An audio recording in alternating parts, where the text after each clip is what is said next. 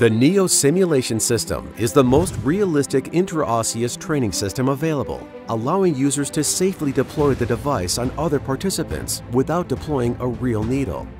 This approach allows users to practice on live tissue, which reacts differently than cadavers or mannequins.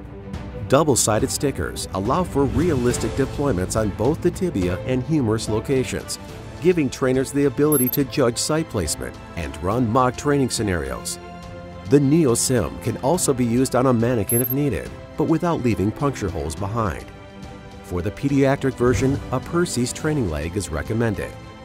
Due to the ease, cost, and realistic nature of the device, departments can quickly train their entire staff to a high standard of competency with the NIO.